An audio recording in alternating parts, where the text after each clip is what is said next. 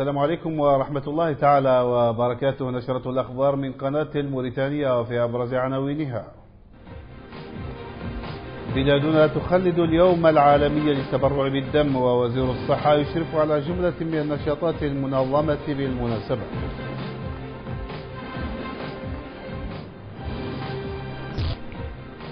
العاصمة تحتضن ورشة حول صياغة تقرير موريتانيا الأول الخاص بقرار مجلس الأمن. المتعلق بمنع انتشار أسلحة الدمار الشامل.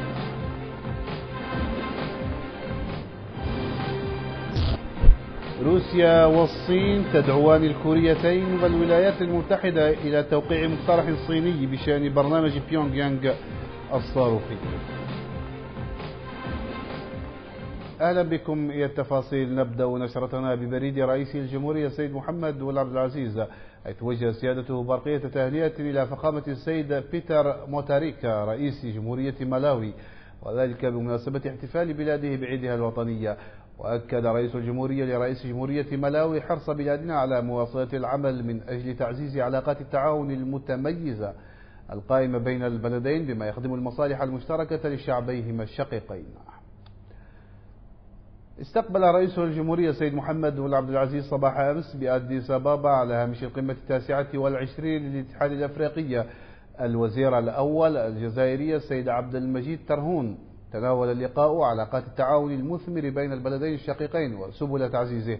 جرى الاستقبال بحضور وزير الشؤون الخارجية والتعاون الدكتور سلكو الأحمد زيد بيه ووزير الخارجية الجزائري السيد عبد القادر مسهل وأوضح الوزير الأول الجزائري بعيد المقابلة في تصريح لقناة الموريتانية أنه بحث مع رئيس الجمهورية مختلف جوانب علاقات التعاون المثمر القائم بين البلدين الشقيقين.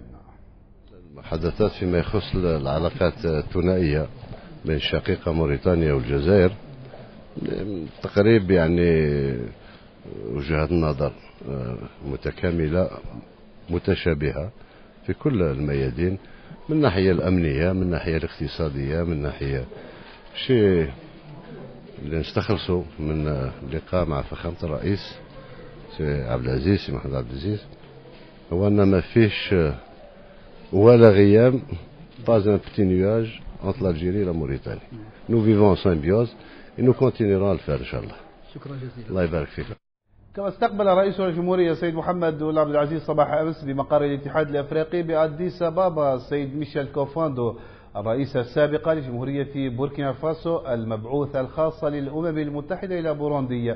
تم خلال اللقاء بحث الجهود التي تبذلها الأمم المتحدة لتعزيز الأمن والاستقرار في هذا البلد وتفعيل مؤسساته الديمقراطية. جرت المقابلة بحضور الدكتور سلكو الأحمد يزيد به وزير الشؤون الخارجية والتعاون. وفي أديس أبابا كذلك اطلع رئيس الجمهورية السيد محمد بن عبد العزيز صباح أمس على مدى تقدم الأشغال في مبنى السفارة الموريتانية في إثيوبيا. وتجول رئيس الجمهورية في مختلف أجنحة المبنى واستمع إلى شروح من مسؤولي الشركة الصينية المنفذة للأعمال ومن وزارة الإسكان والعمران والاستصلاح الترابي السيدة أمال بنت مولودة ويتألف المبنى الممول بالكامل من ميزانية الدولة الموريتانية من مقر لمكاتب السفارة وإقامة للسفير.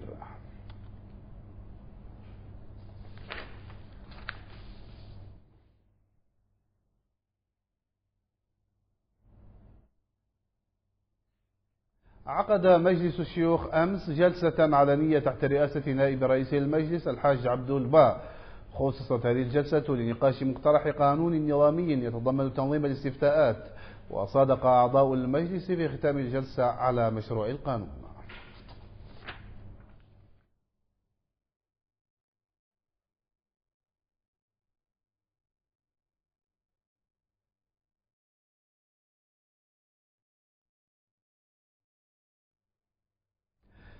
في إطار الاحتفالات المخلدة لليوم العالمي للتبرع بالدم نظمت وزارة الصحة من خلال المركز الوطني للتبرع بالدم جملة من النشاطات التحسيسية. شملت هذه النشاطات تجهيز سيارة إسعاف لاستقبال المتبرعين بالدم وتكريم عدد من النشطاء المتميزين في المجال إضافة إلى فقرات أخرى. أن تتبرع بقطرة دم لجسم يحتاجها يعني ذلك أنك ساهمت في إنقاذ حياة إنسان. هذا ما أدركته الجهات المختصة فواكبت دول المنطقة في تخليد اليوم العالمي للتبرع بالدم كل سنة. احتفالية هذا العام تميزت بسلسلة من النشاطات بدأها وزير الصحة البروفيسور كان بوبكار بزيارة لسيارة إسعاف متنقلة. تم تجهيزها بالكامل من طرف المركز الوطني للتبرع بالدم لإتاحة الفرصة لمن يرغب من المواطنين بالتبرع لدعم المخزون الوطني من الدم. وبمعية وزير الشباب والرياضة والأمين العام لوزارة الصحة وعدد من الأطر والفاعلين في القطاع الوصي تبرع السيد الوزير والوفد المرافق بأكياس من الدم إذانا بانطلاقة اليوم المفتوح لاستقبال المتبرعين وفي حفل منظم بالمناسبة دعت إليه الوزارة شركائها الوطنيين والدوليين مع عدد من منظمات المجتمع المدني النشطة في المجال. تحدثت مديرة المركز الوطني لنقل الدم عن أهمية تخليد هذا اليوم وقالت السيدة خديجة طباء إن قطاع الصحة في بلادنا سجل خلال السنوات الأخيرة نتائج هامة في مجال التبرع بالدم تجاوزت حوالي 12 ألف متبرع. خلال العام 2012 إلى 19 ألف في سنة 2016 ومع ذلك تضيف السيدة المديرة ما زلنا نتطلع إلى الحصول على حوالي 35 ألف متبرع بالدم سنويا. وفي هذا السياق أضافت أن المركز الوطني للتبرع بالدم لن يألو جهدا في تعزيز قدراته مستقبلا من أجل إنجاح المهمة المسندة إليه انطلاقا من البرامج والاستراتيجيات التي تبنتها الحكومة بغية تطوير القدرات الفنية والبشرية لقطاع الصحة على المستوى الوطني. الحدث كان سانحة كرمت فيها وزارة الصحة عددا من النشطاء الوطنيين أطباء وفاعلين ومرشدين ومتبرعين. كانت لهم بصماتهم الخاصة في مجال التبرع بالدم في موريتانيا تشجيعا لهم على ما بذلوه من تضحية وجهد يخدم توجه الدولة في هذا المجال. أدت وزيرة الشؤون الاجتماعية والطفولة والأسرة صباح اليوم زيارة تفقد واطلاع للمنسقية الجهوية التابعة لقطاعها بولاية نواكشوط الغربية. تدخل هذه الزيارة ضمن برنامج اللقاءات التي تجريها الوزيرة مع مسؤولي وموظفي مختلف القطاعات الحيوية في الوزارة.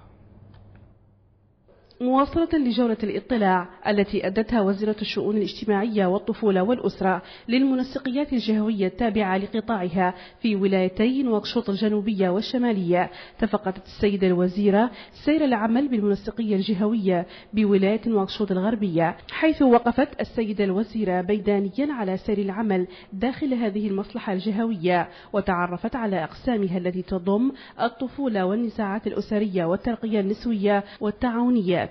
وخلال الاجتماع الذي عقدته السيدة الوزيرة بطاقم المنسقية وبحضور السلطات الإدارية والأمنية بالولايات الغربية تابعت عرضا فنيا قدمته مديرة المنسقية السيدة سعيدة بنت الحومي شمل التعريف بمهامها الموكلة إليها كحماية الأطفال وترقية الفئات الأكثر احتياجا في المجتمع والدفاع عن حقوق المرأة. كما تطرق العرض إلى التحديات التي تعيق عمل المنسقية كنقص التكوين المستمر ونقص الكادر البشري وتعهدت الوزيرة بأخذ المشاكل المطروحة بعين الاعتبار وإيجاد الحلول المناسبة لها مشيدة بدور المنسقية. واختتمت وزيرة الشؤون الاجتماعية والطفولة والأسرة هذه الزيارة باجتماع مع ممثلة التكتلات والتعاونيات النسوية على مستوى مقاطعة الولاية الغربية خصص للاستماع للمشاكل والمعوقات التي تواجههم كما شكل فرصة لتثمين الإنجازات التي تم تحقيقها في مجال ترقية مكانة المرأة. حرصنا ان نجمعوا بكم. إياكم ملي نحن نعرف المنسقه لا تطرح مشاكلكم. غير نختاروا نحن ملي نجبركم نحن انتماتي مباشرة. إياك ونجبروا للناس كامل اللي في اللي تابع القطاع من المعوقين والناس اللي عندها مشاكل الأطفال وأنتم رئيسات التكتلات وذا كامل. إياك نناقشوا معاكم. الاساس الكلام لا يعود لكم أنتم أنتم اللي تطرحوا مشاكلكم. أنتم تعرفوا عن فخامة الرئيس محمد عبد العزيز البرنامج الانتخابي. اللي مرنا محتل به مركز اساسيه تعرفوا عنا الدعم ريناه سياسيا من نسبة العليات اللي في البرلمان. تعرفوا عنا هيئاتنا الاقتصادية مدعومة نحن كعليات خارج عنها. هي إذا زيارة تجسد حرص السلطات العمومية في البلد على تقريب جميع الخدمات الاجتماعية من المواطنين والعمل على تحسين ظروفهم المعيشية.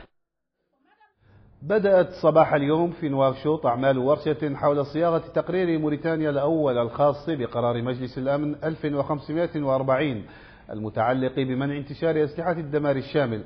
تنظم الورشة بالتعاون بين وزارة الداخلية واللامركزية ومكتب الأمم المتحدة لشؤون نزع السلاح.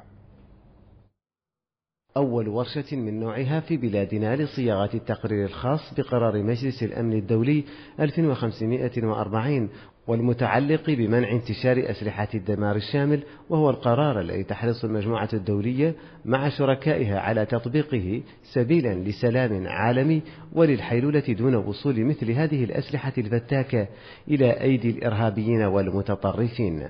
لا يخفى عليكم ما, ما يشكله وصول الأسلحة النووية والبيولوجية والكيماوية إلى الأيادي الآثمة من تهديد للأمن والسلامة الدوليين وأن المجتمع الدولي في ظل عالم مترابط تتشابك فيه المصالح بشكل وثيق ينبغي أن يعزز التعاون في كل المجالات ذات الصلة لمقاربة حدود وتدفقات الأموال والشبكات الإلكترونية ووضع استراتيجية مناسبة لمكافحة الإرهاب ولمنع انتشار أسلحة الدمار الشامل لذا ينبغي على جميع الأطراف الفاعلة المعنية بقرار مجلس الأمن.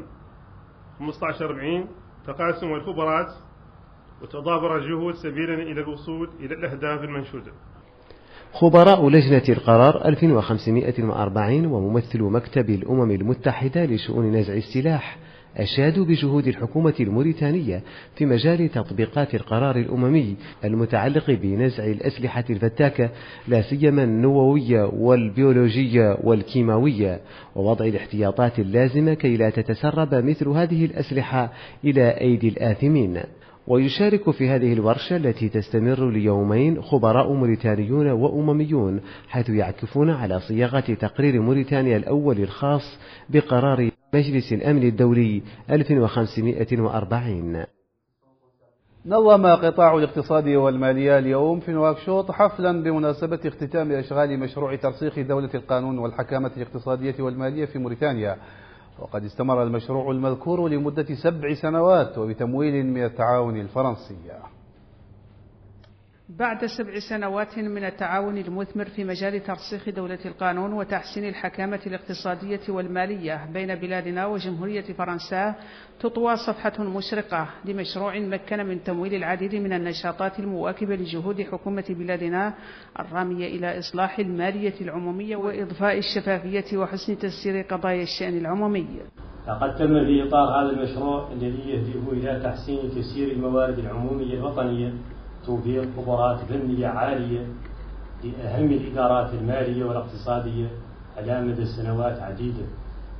كما مكن من تنفيذ برنامج حافل للتكوين المستمر وتحسين الخبرات وساهم بصفة هامة في تقية أداء القطاع الملاحظ خلال السنوات الأخيرة.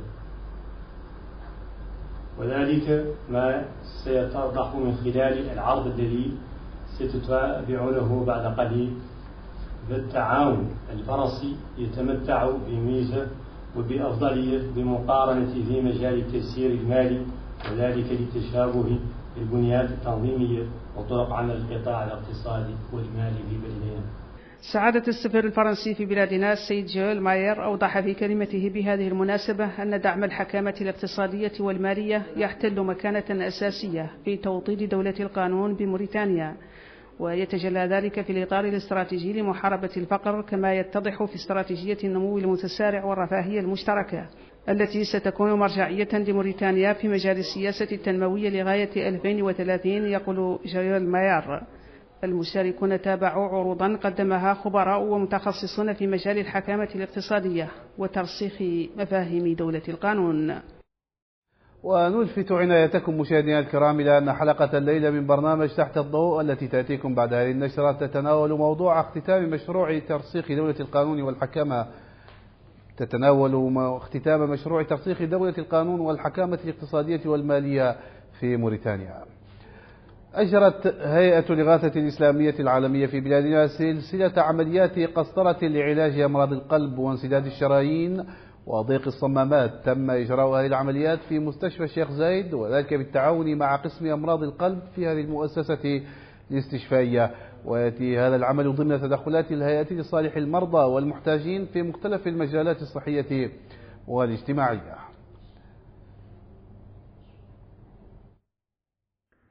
نظمت مجموعة من الفاعلين في التعليم الخاص مساء أمس يوما تربويا وثقافيا حول التعديلات الدستورية المرتقبة. المتحدث باسم المبادرة السيد دمبانجاي ألقى كلمة بين فيها أهمية التعديلات الدستورية المقبلة وما سيكون لها من آثار إيجابي على مستقبل الوطن مطالبا الحضور بالتصويت بنعم لصالح هذه التعديلات وذلك من أجل مواصلة الجهود التي بذلتها الحكومة والتي شملت مختلف المجالات الأساسية من تعليم وصحة والتوفير لنقاط المياه في مناطق الوطن. وقد تميزت فعاليات هذه التظاهرات بتكريم بعض المتفوقين من طلاب من الطلاب والتلاميذ تشجيعا لهم على الجد والمثابرة خلال السنة الدراسية المنصرمة. حضر هذا الحفل العديد من أطر وقيادات حزب الاتحاد من أجل الجمهورية. نظمت مجموعة من أطور مقاطعة تيارة المنحدرين من بلدة الويبدة بولاية شيري مساء أمس في نواكشوط مبادرة سياسية تحت عنوان نعم لتعديل الدستور التظاهرات التي كانت عبارة عن حفل تحسيسي لشرح أهمية التصويت لصالح التعديلات الدستورية والتأكيد على ضرورة التسجيل على اللائحة الانتخابية أكدت خلالها رئيسة المبادرة المهندسة فاطمة متحرمة دعم أصحاب هذه المبادرة لخيارات رئيس الجمهورية واستعدادهم لإنجاح هذه الاستفتاءات مستخدمين كافة وسائلهم اللوجستية والمادية اللازمة لذلك. وقد تمت المداخلات خلال التظاهرة ما شهدته البلاد من إنجازات هامة في مختلف الميادين. الأمية التنفيذية لحزب الاتحاد من أجل الجمهورية. السيدة موتها بنت الحاج شكرت أصحاب هذه المبادرة مبرزة أهمية هذه التعديلات وانعكاساتها الإيجابية على البلاد. نظم مساء أمس تيار الحراك الشبابي من أجل الإصلاحات الدستورية تظاهرات في مقاطعة عرفات وذلك ضمن التعبئة والتحسيس بأهمية الإصلاحات الدستورية المرتقبة وأكد رئيس التيار السيد أحمد المحمد أن الاستفتاء المرتقب تقع مسؤولية إنجاحه على عاتق الشباب بوصفه مستقبل البلاد. تضمنت التظاهرات شرحا لدواعي الاستفتاء وضرورة دعم الإصلاحات الدستورية. المتدخلون أبرزوا أهمية الإصلاحات الدستورية وضرورة التصويت لها. وفي نهاية التظاهرة نظم التيار مسيرة راجلة انتهت بمكتب التسجيل ببلدية عرفات حيث تم تسجيل عشرات المواطنين.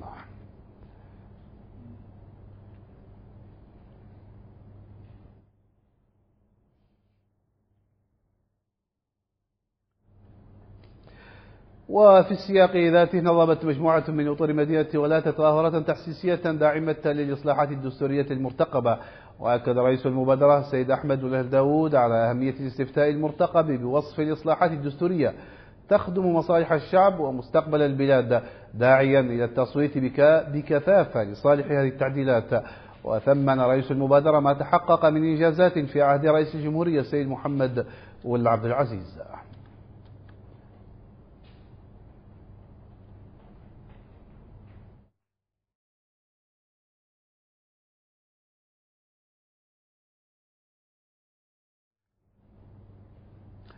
الاقتصاد مع الغالية من تعمر شين بعد الفاصل.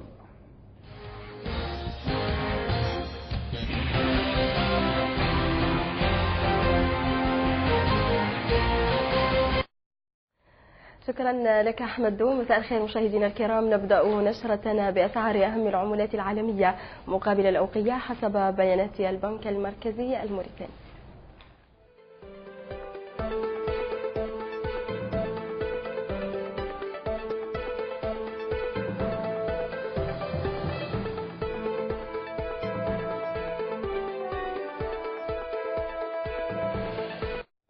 أظهر تقرير اقتصادي نشر اليوم تباطؤ وتيرة نمو النشاط الاقتصادي لقطاع الخدمات في الصين حيث تراجع مؤشر مديري مشتريات القطاع الذي تصدره تصدره عفوا مجموعة كيشين للخدمات الإعلامية والمعلومات إلى 51.6 نقطة مقابل 52.8 نقطة خلال يونيو الماضي.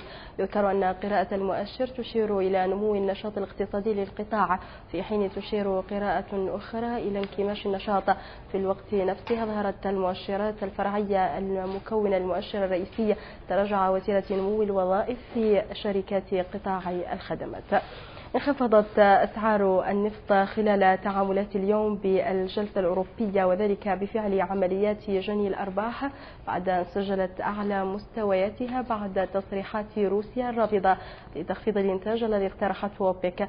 واختتم أن اختتم النفط الخام الأمريكي تعاملاته محققا مكاسب بنحو 0.1% لليوم التاسع على التوالي مكونا أطول موجة مكاسب يومية منذ 2012 كما سجل أعلى مستوياته عند 47.30 دولار وارتفعت عقود برنت بنحو 0.2% فيما يلي نتابع جديد أهم الأسهم والمؤشرات في الأسواق المالية العالمية.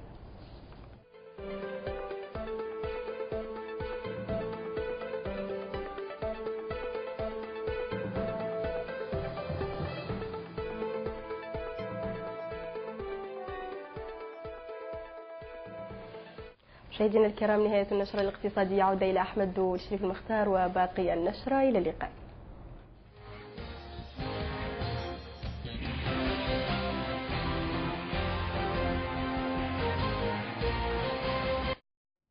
شكرا لك الغالية متعمر شين وفي بقية ملفات هذه النشرة دوليا أجرى الرئيسان الروسي فلاديمير بوتين والصيني شي جين بينغ محادثات في موسكو.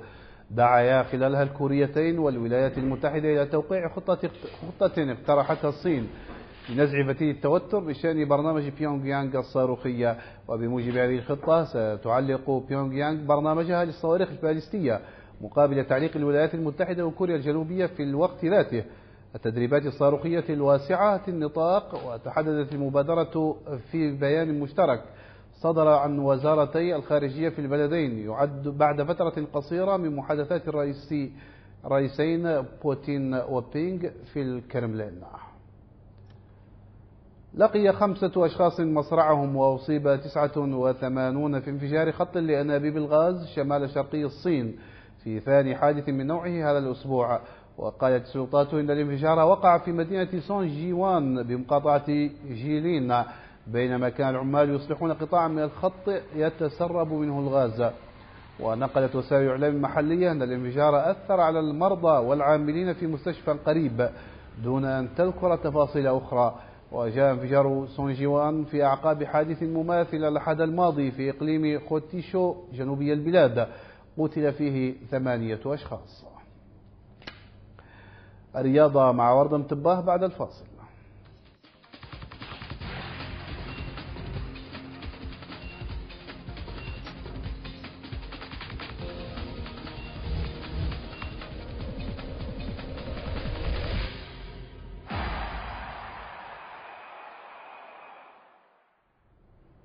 شكرا لك أحمد والشريف وأهلا بكم مشاهدينا إلى النشرة الرياضية وقع مدافع المنتخب الوطني الأول لكرة القدم حمزة جوار رسميا على عقد يلعب بموجبه لنادي مونديفيل الفرنسي لمدة موسم واحد.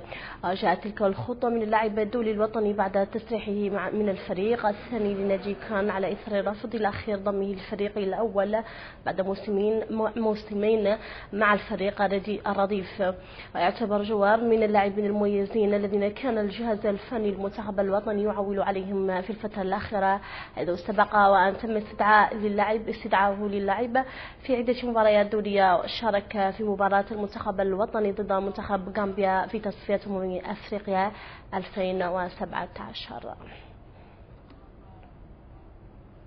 أفادت مصادر إعلامية اليوم أن لاعبي المنتخب الوطني عبد الله السلاكي سلاكي الملقب بلاي ويحيى دلاهي تم التخلي عن التخلي عن التعاقد معهما من طرف نادي ليمبايا الليتواني وذلك إثر خلاف نشب بينهما مع مدرب الفريق.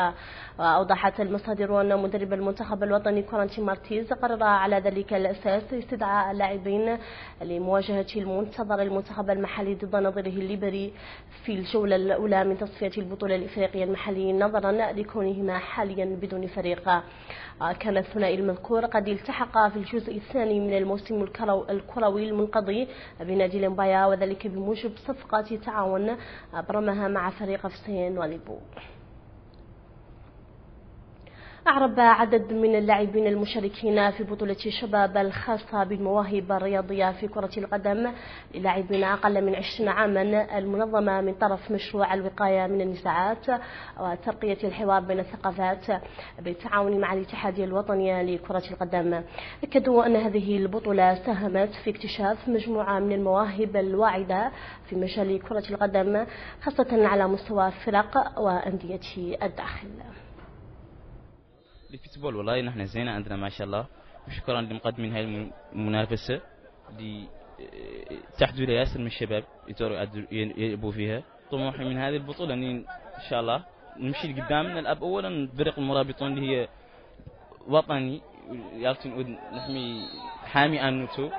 وإن شاء الله مرنا لقدام إن شاء الله. لا ننزل فيه هو إن شاء الله دور لا نمشي لقدام إن شاء الله. موريتانيا إن شاء الله. المرابطون إن شاء الله لقدام إن شاء الله.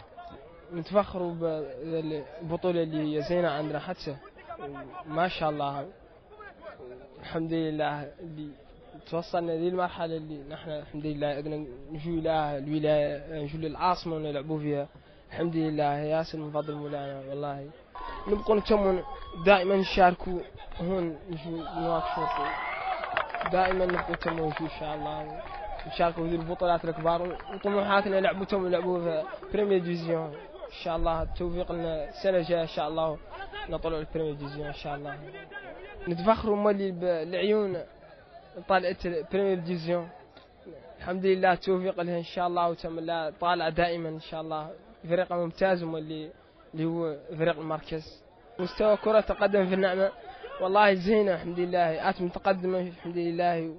وعاد يعني تطور فيها ياسر الحمد لله. عندنا لهم واللي شاركوا في ياسر البطولات هون عندنا بطولة play off والحمد لله طلعنا اللي كان كان عقبنا فريق من النعمة يطلع هون بطولة play off اللي ورايح الحمد لله اللي عندنا الفريق طالع حاليا في البطولة. الله ما شاء الله. متقدمين بقى الحمد لله.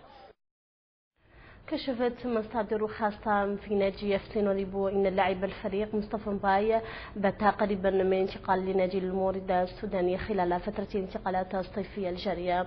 وأكدت المصادر أن اللاعب تلقى عدة عروض من أندية مصرية لكن العرض المقدم من الفريق السوداني كان الأفضل والأنسب له. وقدم مباي وقدم مباي موسما مميزا مع النادي البرتقالي ولعب له معظم مبارياته الموسم الكروي. الماضي. نشاط الرياضة وصلت إلى الختام. شكرا لمتابعتكم وعودة إلى أحمد الشريف.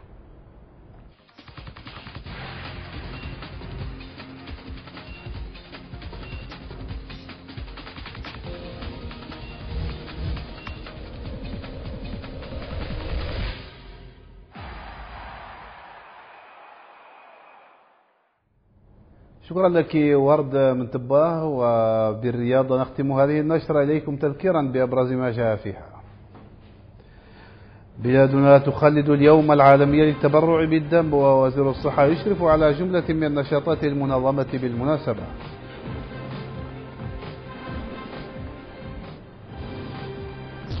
العاصمة تحتضن ورشة حول صياغة تقرير موريتانيا الأول الخاص بقرار مجلس الأمن المتعلق بمنع انتشار أسلحة الدمار الشامي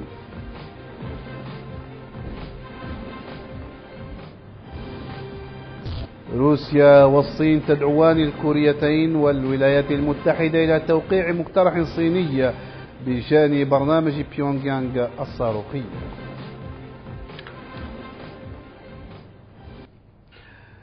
نهاية النشرة شكرا لكم حسن المتابعة في أمان الله.